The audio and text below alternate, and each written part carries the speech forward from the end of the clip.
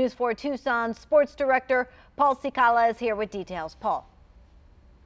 Hey, thanks a lot. Multiple media sources are reporting that Navy head coach Ken Niumatalolo is one of the top candidates to fill the head football coaching position left behind after the firing of Rich Rodriguez, as you mentioned, on January 2nd. And get this, some media outlets like footballscoop.com are saying Arizona was even negotiating a potential deal with Niumatalolo.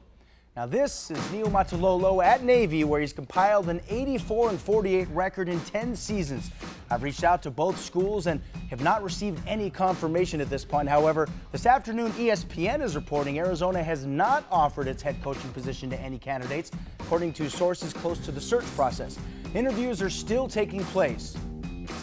Meanwhile, if you look at the buzz on social media, the candidate of choice for a majority of fans is former Texas A&M coach Kevin Sumlin, who's apparently expressed interest in the U of A, but contract negotiations could be sticky for a coach like Sumlin, who's also in high demand. A bonus for the U of A, the current defensive coordinator for the Cats, Marcel Yates, has worked with Sumlin in the past, meaning it could bode well if Yates were retained in his current position. But at this point, we can only speculate until the university officially makes the announcement of who's hired. And back to the current name being linked to the job by many media outlets, Ken Niumatalolo. Get this, he has a bit of a University of Arizona connection.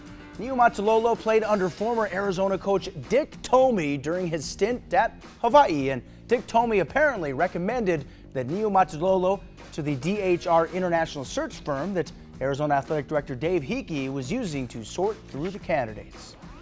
Of course, we will continue to keep you updated on the Arizona football search for complete coverage, including breakdowns on all the possible candidates to replace Coach Rich Rodriguez. You can see it all on KVOA.com. Also, I will have more on 5, 6, and at 10.